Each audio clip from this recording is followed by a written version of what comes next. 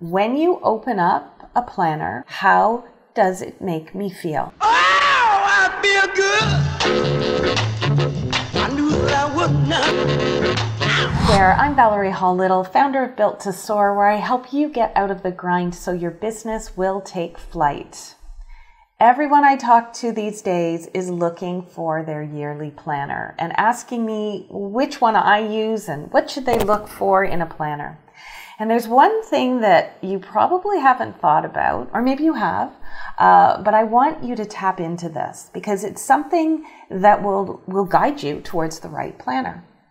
When you open up a planner, when you look at it, if you're shopping online or you're in the bookstore and you open the planner, how does it make you feel? That's what I want you to ask yourself.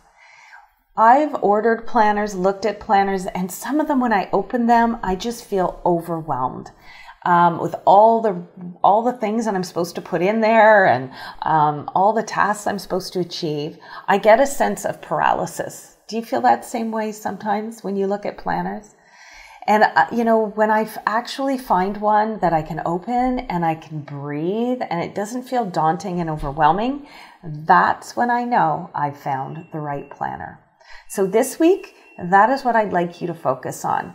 Look at some planners, open them up, and tap into that feeling. How does it make me feel? Ask you that, ask yourself that question. And if you feel overwhelmed, put it away. And if you think, I feel inspired, then that's the planner for you. That is your next step this week to building your business so it is built to soar. Thanks for watching, and I'll see you next time.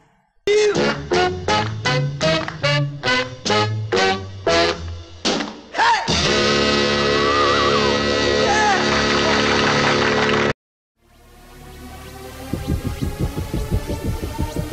you.